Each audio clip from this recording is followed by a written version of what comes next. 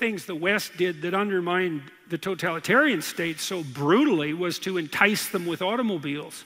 Because there's nothing that screams individual freedom louder, louder than a car, right? Noisy, dangerous, fast, private,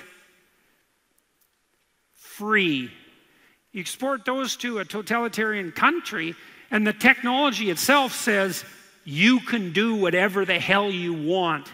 And you know, you think, well, they won't come for your car. It's like, oh, not only will they come for your car, they already have. The European Union announced, and so did California, no internal combustion cars allowed to be sold in the European Union by, I think it was 2035. It's like, this is utterly insane. But, like I said, you peasants, what makes you think you have a right to a car?